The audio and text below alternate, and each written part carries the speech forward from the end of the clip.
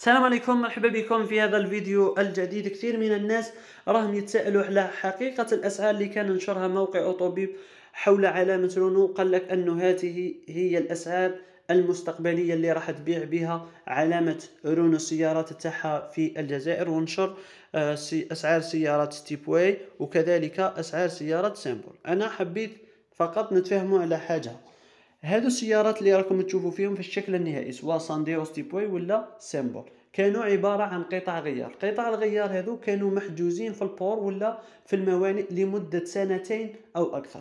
لمدة سنتين ولا أكثر وهما محجوزين لدى الموانئ. لكن لما يكونوا محجوزين لدى الموانئ لازم تعرفوا أنه كل نهار راهم يباتوا في ال port لازم تخلص عليهم دراهم.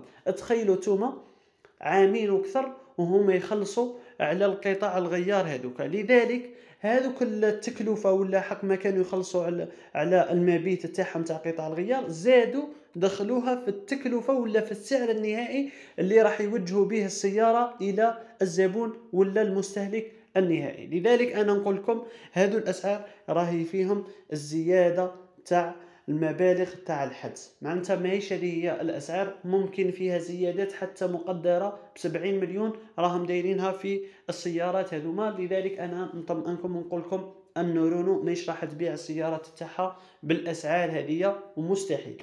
وتبان لي كذلك أن رونو راهي أه تحاول تبيع ال stock تاعها هذا قبل ما يخرج ال cahier des charges وكذلك يبداو المصنعين في استيراد سيارات تاعهم وقبل ما يبداو الوكلاء كذلك يجيبوا في السيارات تاعهم إلى الجزائر لأنهم على بالهم مستحيل راح يبيعوهم بالأسعار هذو. لذلك راهم يبروفيتيو قبل ما يخرج ال cahier des charges باش يبيعوا السيارات تاعهم باش هكا آه ما تغلطوش وتقولوا أنه السيارات ماش راح يهبطوا إلى آخره. حتى بالأسعار هذه خوتي راهي الأسعار هذه راهي أقل من السيارات القديمة. داسيا آه سانديرو ستيبوي 2019 تقريبا راهي في 300 مليون وحاجة. راهي جديدة راه يقول لك 300 305 ملايين. نزيد لكم حاجة أخرى.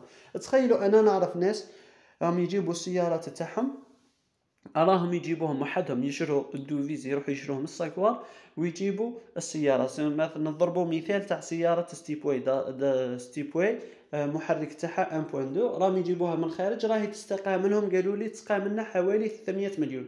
imaginez معايا خاوتي واحد يجيب سيارة واحدة وحده تسقى له 300 مليون يبيعها لك المصنع. اللي يصنعها يبيعها لك 282 مليون ولا 300 مليون وهو راهو يجيب بال taux officiel تاع البنكة موش يجيب بال taux تاع السكوار معناتها هذا الأمر غير منطقي تماما لذلك أنا ناكد لكم مرة أخرى ماهيش هذه هي الأسعار اللي راح يبيعوا بها السيارات تاعهم كاينة نقطة أخرى كذلك حبيت نتكلم عليها. إلى لاحظتوا كان normalement علامة رونو كانوا داروا منشور قال لك صالات ولا les showrooms تاعهم راح يبداو يبيعوا في السيارات تاعهم لفترة مؤقتة. واش معناتها مؤقتة هذيك؟ واش تفهم منها؟ أنه كي يكمل ال stock هذا اللي راهم ركبوه ولا مونطاوه راح يعاودوا يحبسوا العمل تاعهم إلى غاية استئناف رونو النشاط الحقيقي تاعها في الجزائر. لذلك أنا نطمئنكم خوتي هذه الأسعار ليست